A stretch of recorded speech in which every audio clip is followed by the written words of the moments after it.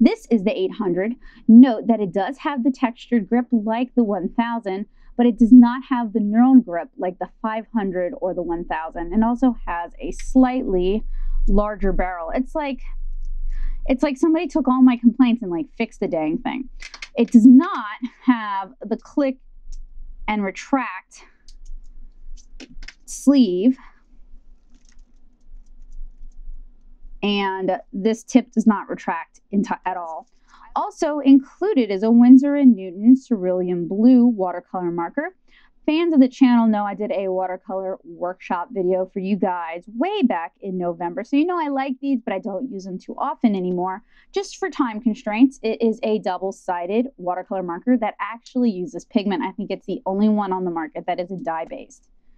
They're shorter than a comparable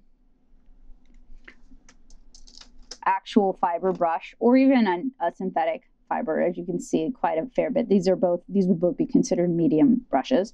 Um, and they are a little stiffer. They don't have as much give.